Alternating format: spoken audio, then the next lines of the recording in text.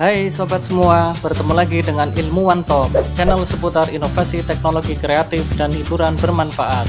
Tapi sebelum masuk ke individu kita hari ini, kita ingetin kalian jangan lupa subscribe dan like supaya channel inovasi sederhana ini memberikan manfaat kepada semua orang.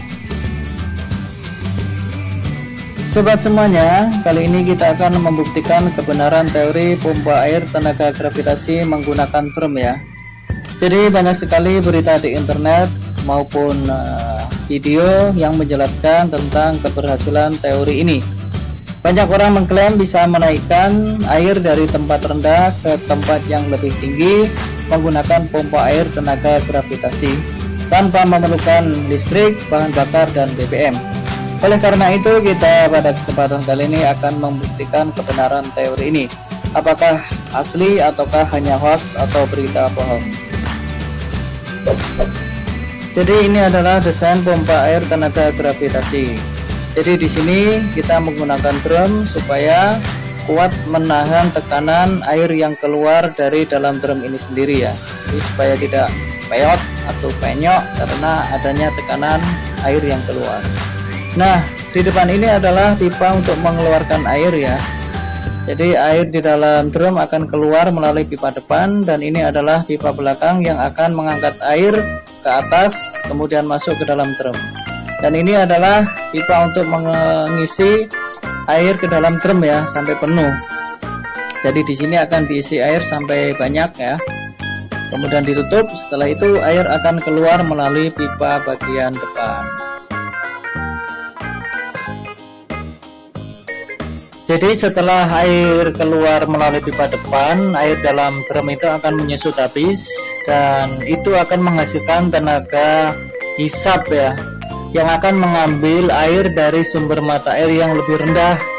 Kemudian air akan dibawa masuk melalui pipa ke dalam drum ini dan itu akan terjadi secara terus menerus ya. Sirkulasinya akan terjadi secara terus menerus dari mata air yang lebih rendah dibawa ke dalam drum kemudian keluar melalui pipa depan secara terus menerus baik mari kita buktikan teori itu. Bahan yang kita butuhkan adalah kaleng wafer ya. Ini untuk membuat miniatur pompa air tenaga gravitasi ya jadi kaleng wafer ini akan memberikan dampak yang sama sesuai dengan pompa air tenaga gravitasi menggunakan drum. Tutup kaleng ini akan kita lubangin di bagian ini, seperti ini. Kemudian juga bagian belakang kaleng kita lubangin, bagian atas juga seperti ini. Setelah itu kita akan memotong selang ukuran ini dua biji ya, seperti ini Nah, selang itu kita masukkan pada bagian atas lubang yang sudah kita buat di kaleng ya. Kita masukkan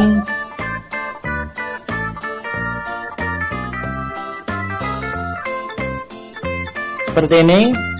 Yang bagian tutup juga kita masukkan selang ya. Seperti ini. Ya, setelah selang kita masukkan, kita akan lem supaya tidak dapat dimasuki air maupun dimasuki udara. Nah, yang bagian atas juga kita lem sehingga sama menjadi ruang kedap ya, tidak bisa dimasukin angin maupun dimasukin air. Nah, bagian belakang kita masukkan selang yang agak lebih panjang ya, karena ini fungsinya untuk menarik air dari tempat yang lebih rendah. Seperti ini. Nah ini setelah kita masukkan kita lem juga bagian belakang supaya tidak ada rembesan air. Nah ini gambarannya sudah jadi. Kemudian kita tutupkan tutup kaleng ini bagian depan. Ya seperti inilah bentuknya ya. Sudah hampir jadi setelah itu kita motong selang kemudian kita panaskan. Ini fungsinya untuk menjadi tutup selang bagian depan maupun atas supaya tidak langsung mengeluarkan air ya. Kita buat seperti ini.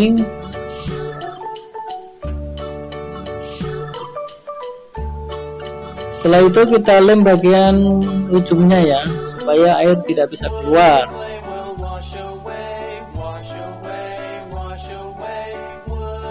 ya seperti ini.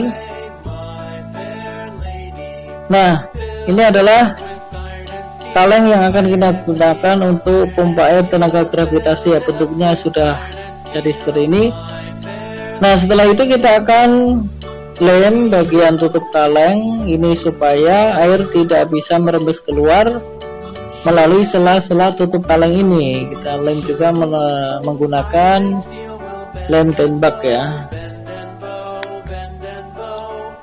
nah ini adalah hasil daripada pembuatan kalengnya ya. Sudah kita lem bagian sisinya jadi sangat kedap dan tidak bisa dimasukin air. Air juga tidak bisa merembes keluar. Di bagian selang juga sudah kita lem bagian sela-selanya. Ya seperti ini.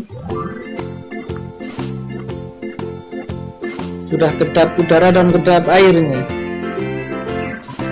Ini sudah jadi ya setelah itu kita siapkan dua tutup selang ya yang sudah kita buat tadi. Kita gunakan untuk menutup bagian depan selang ya. Kita masukkan sini supaya nanti air tidak langsung keluar saat kita isi kalengnya dengan air. Seperti ini dan yang bagian atas kaleng juga akan kita tutup menggunakan tutup yang telah kita buat tadi ya.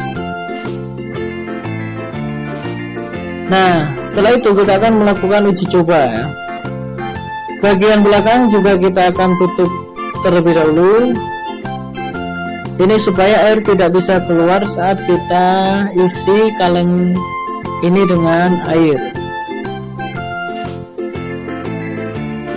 Nah, bagian atas adalah kita gunakan untuk mengisi air kaleng ini ya. Sampai penuh nanti kita akan isi sampai batas ini nanti batas paling atas kita isi mulai ya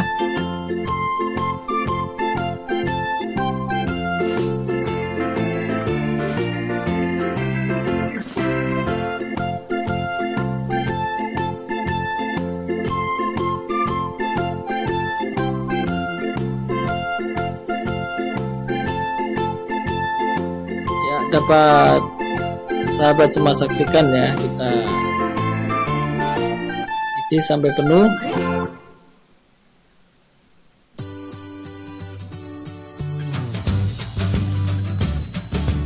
Ya, di sini sudah terlihat bahwa selang bagian belakang sudah terisi penuh dengan air ya.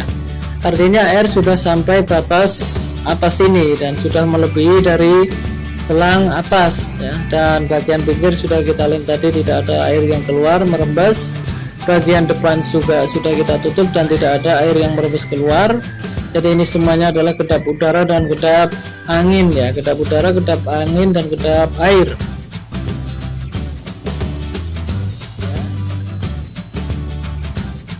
Setelah itu kita akan buka tutup bagian selang belakang ya tadi sudah mengalir kemudian kita masukkan dalam ember sebagai sumber mata air.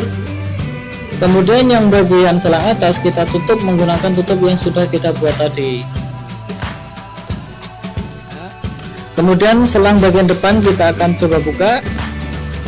Ya air sudah mengalir.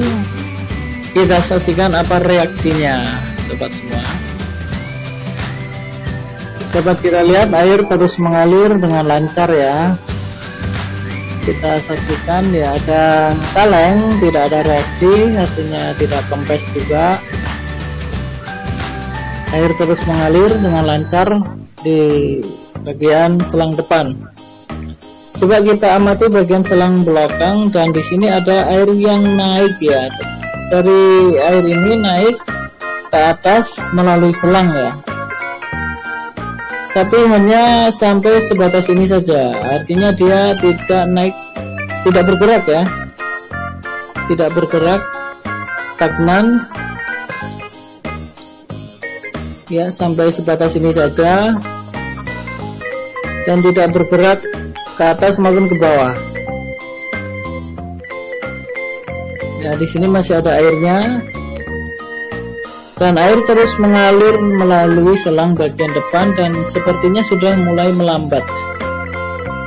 Dapat kita lihat air di bagian selang depan sudah mulai melambat tidak seperti awal tadi. Ya dan kita lihat dari kejauhan seperti itu reaksinya. Ya air semakin melambat perlahan demi perlahan dan bagian kaleng tidak ada reaksi apa pun sedangkan di bagian belakang selang kita lihat air tetap masuk tapi cuman tidak bisa naik lagi ini sebatas ini saja dan cenderung malah turun ya. Jadi ya, tadi agak tinggi sedikit dan sekarang lebih turun sedikit. Dan bagian depan juga perlahan uh, melambat ya airnya yang keluar perlahan melambat semakin melambat. Sedang selang bagian belakang tetap ya, tetap segini airnya tidak bisa naik dan semakin turun. Air bagian depan melambat dan selang bagian belakang semakin turun kadar airnya ya, tidak bisa naik malah turun dan di sini tidak ada reaksi apa pun ya. Artinya kaleng tetap stabil tidak ada perubahan dan air yang mengalir melalui selang depan terus melambat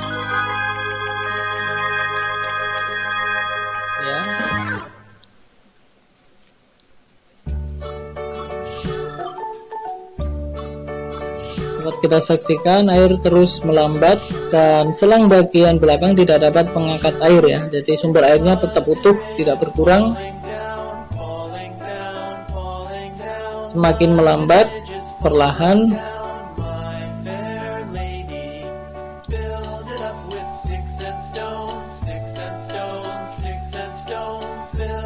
Ya terus melambat dan semakin sedikit air yang keluar melalui selang bagian depan dan kita lihat air sepertinya sudah habis ya bagian dari kaleng airnya sudah habis. Dan ya sudah semakin berhenti. Berhenti sampai tetes terakhir ya iya. Perlahan seperti ada udara di situ keluar ya. Itu nah begitulah ya hasil eksperimen pompa air tenaga gravitasi menggunakan drum ya. Tapi kali ini kita membuatnya secara mini ya. Tapi itu tidak mengurangi uh, teori daripada pembuatan pompa air tenaga gravitasi drum ya. Karena fungsinya sama dan ternyata reaksinya seperti itu. Air bagian depan mengalir sampai habis dan air di bagian belakang tidak dapat terangkat melalui selang bagian belakang ya tapi mengalir terus sampai habis. Jadi intinya teori pompa gravitasi tidak dapat berfungsi sesuai teori yang digembar-gemborkan di internet, YouTube dan berita-berita lainnya. Jadi itu adalah hoax seperti yang kita lihat. Yang terjadi adalah selang bagian belakang tidak dapat mengangkat air ke dalam drum dan hanya mengangkat air sampai sebatas ini. Ya. Kaleng tidak ada perubahan, dan tidak dapat mengangkat air. Dan air di dalam kaleng ternyata habis melalui selang bagian depan. Ini dikarenakan ada udara yang masuk melalui rongga-rongga selang ini sehingga air di dalam kaleng keluar habis. Ini tidak bisa mengangkat dan air habis melalui selang depan karena adanya angin yang masuk melalui sela-sela selang tersebut. Jadi begitu hasilnya. Terima kasih sudah menyaksikan. Sampai jumpa lagi